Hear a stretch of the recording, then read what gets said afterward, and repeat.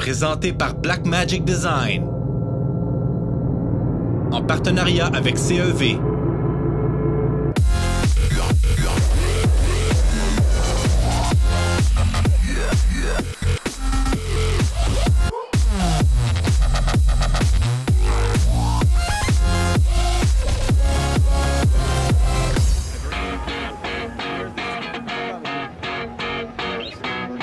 On est au bout de Avid. On va regarder les nouveautés dans Pro Tools 12.5, plus, plus spécifiquement euh, la collaboration. Alors, je suis avec Greg et Omar ici qui vont nous faire une petite démo de ce que ça peut faire.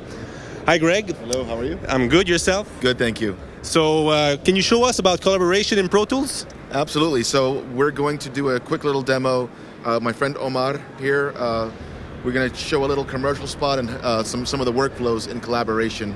Uh, Omar has the commercial, and he'll kind of be the owner of the project, and I'll be the composer that comes in. So, hand it over. Exactly, yo. So now in Pro Tools 12.5, you can see that on the dashboard you have a new option of call sign in. You have to be signing into your Avid Master account in order to create a project, right? So the other new thing that you will show up, it will show up on the dashboard is that you have the option of creating a project and create a session. When you create a project, everything, all, the media will be on our um, storage, or the session will remain local in your hard drive. So once you select the project, I can type the name of the demo, and it just uh, it will open as a blank slate, just the same as a session, right? So I can start recording, editing, and do everything that I need. So just for the purpose of this demo, I'm going to import session data from a session that I already have created created on my local hard drive. Okay, so I'm just going to bring this Nike commercial, and the things that I have in this project are the sound effects.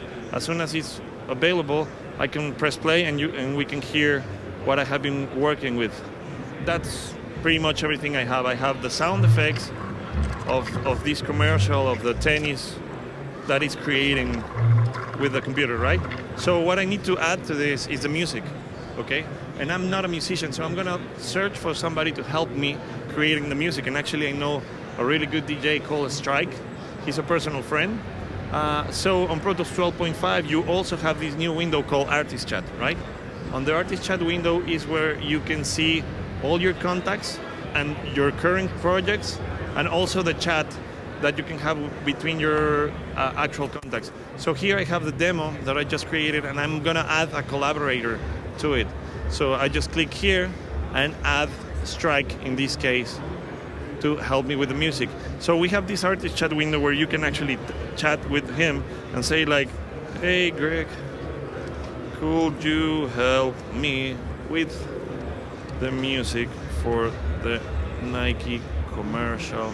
Okay, so now on Greg's computer, you will see that he has a, a, a notification and he will t- help you going through on Miami, right? All right. So, Greg, So yeah, as Omar said, uh, he's invited me to the project. In my artist chat, I've got a notification, and you can see here that he's invited me to collaborate on this project. Now there's another uh, window. Uh, let's say I'm, if I'm in Pro Tools, I'll get a notification there as well. But if I happen to be in my dashboard, um, I'll get a notification here under projects as well, just so you're aware. So I'm going to go ahead and accept his invitation to the project, and I can see here that now shows up under my project list. Once I click it, I can see what he's already shared in the project, and I can see his message, hey Greg, could you help me with the music for the Nike commercial? And I'll say, sure, let's go. So at this point, what I'm gonna go ahead and do is open up the project. So let's go ahead and open project here under my dashboard. There it is. Double click it, I'm already signed in. So um, as Omar mentioned, there's nothing populated in the project yet, uh, but here I am ready to go. And I'm gonna go ahead and leave my artist chat up and I'm going to pull up my task manager as well so I can actually take a look at to see uh, when tracks are uploading and downloading. So at this point, Omar is going to go ahead and send some stuff over for me to uh, to work on. okay. Yeah, so basically, as I am the owner of the project, I can decide what I want to share with Greg. Uh, for me, it makes no sense to send him the entire project or the entire media that I have because he only needs like a reference to start building the music, right? So what I'm gonna do is I'm gonna share with him only one track, which is actually an auxiliary track, and I'm gonna have this new cool feature called Share as Frozen. So basically, as all of you guys know, auxiliary track doesn't have any audio on it. So now the capability of sharing a frozen track is, and in, this case, an auxiliary track, is that Pro Tools is reading the input that is feeding this auxiliary track with all the plugins, all the uh, mix that I have been done on the sound effects, and it's gonna create a clip, an audio clip, and it's gonna send that over to Greg, right? So it's already done. I'm gonna open the artist chat again and let him know that sound effects coming your way. Okay, so now Greg should have a, a notification of that I have sent something with him. Okay. So yes, as you can see here, I, I, just got the notification. I pulled up my artist chat to see what Omar said. He's telling me that the tracks are coming my way, and I can also see that these tracks are also, you know, uh, populating uh, in, into my local cache almost. And I've got my main notification up at the top right here, which is letting me know that I have tracks to download. Okay. So I'm, I, we have auto off right now. We do have the option of having everything automatic, where I don't even need to see the notification; it'll automatically populate. But for the purpose of the demo, we're going to go ahead and leave that off. So I'm going to go ahead and choose to download the track. So here, you said you said it's it's on your cache. Is it cloud based? All the data is cloud based. It, it, it is cloud based, but once we start working and you know, we, we need the tracks kind of locally to be able to do the work. Okay. And of course, we're, we're working with a lot of metadata as well. So in a little bit, one of the examples I'll show you is how quick we're able to work with tracks that are already populated in the session or the project rather, and how easy and quick it is to go back and forth. So as you can see here, I've got the 5.1 stem uh, from uh, from Omar. So again, he didn't need to send me all the bits and pieces. I just needed to get a reference. So I've got it here now. I can play back. I can, you know, give it a listen, and now I've got an idea for what I want to do with the music. So, um, as Omar said, I'm, you know, in my studio, kind of creating music for the purpose of the demo. I'll just go ahead and import uh, what that would look like or might possibly sound like, and I'm going to use a session here uh, just of uh, music for the for the commercial. So I'll go ahead and import this using session data import. So now I've got all this music that I've worked so hard on in the last uh, 20 seconds ready to go all down here. Now, because Omar's the project owner, one of the workflows, perhaps he's going to be mixing this entire uh, spot together, someone else is going to mix it. So, of course, I could sub this out just as a two track, but we're going to continue working on it. Possibly he's going to mix it. So, I can actually share all these tracks individually. So, while he shared a sub with me, I can share all the tracks back with him.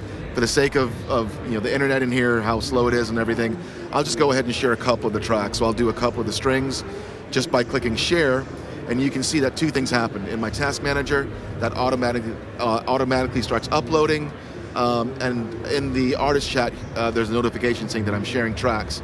I'll let him know, I mean, just a personal note coming your way and he'll uh, get a notification both in his message window and his download window. So while you go over to Omar, he's going to walk you through what he does with that. Actually, there's going to be a mistake that I work on over here, then we'll show you some of the metadata workflow. Okay, so Omar? Yeah, so on my side, I don't have the artist chat uh, window open, but you can see here in this new tab on the edit window, this is the collaboration tab. So here, it, when it turns green, it means that I have a message that I haven't seen on the artist chat. So tracks are coming your way. Perfect. So uh, also this one turns green, and it's for downloading all the shared tracks. Thanks.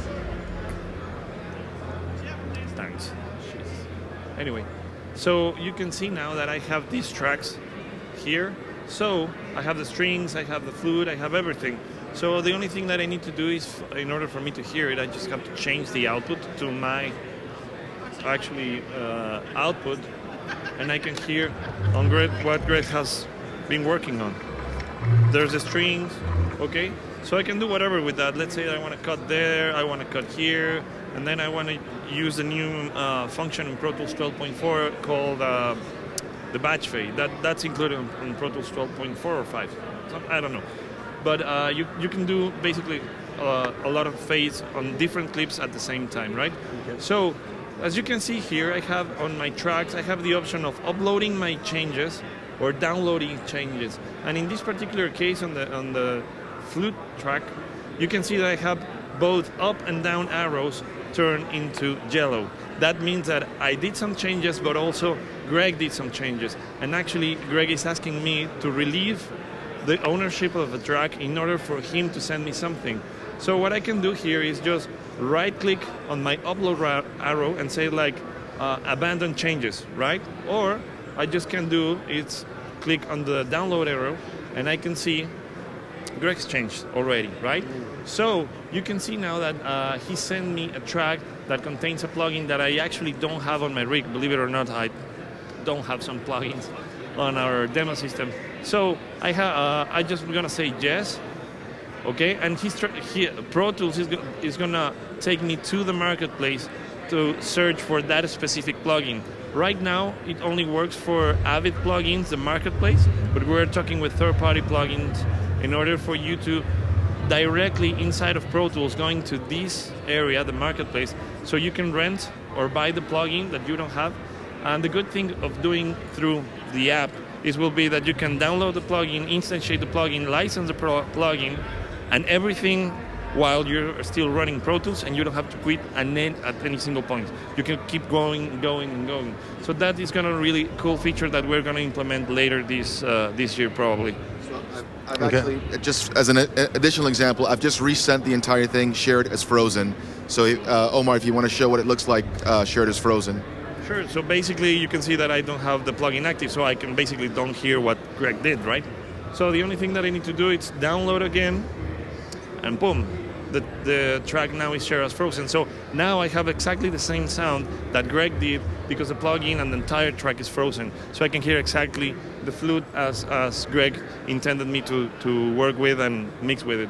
So basically, that's like this is like the general idea of the cloud collaboration. You can back and forth uh, send sending stuff, and also at the end, the owner of the project can and actually all the collaborators in the project can save a copy in your hard drive in order to back up the entire project if you want. You can put it on your hard drive, whatever.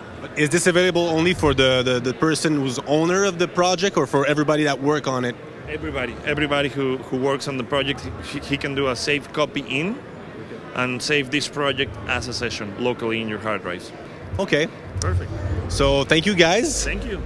Alors, euh, ben, ça vous donne euh, un exemple de qu'est-ce qu'il y a de nouveau sur Pro Tools. Alors, Pro Tools 12.5, comme vous pouvez voir, est euh, très différent. Beaucoup de nouveautés, entre autres la collaboration qui permet de, de rapidement, sans, sans aucun délai de download et d'upload, pouvoir travailler plusieurs sur le même projet. Ça peut être pratique si, mettons, exemple, quelqu'un enregistre des voice-over à une place différente, où il y a plusieurs... En, en musique, c'est très utile, mais ça pourrait être très utile aussi en télévision. Alors, c'est tout ce qu'il y a de nouveau présentement sur Avid. Merci.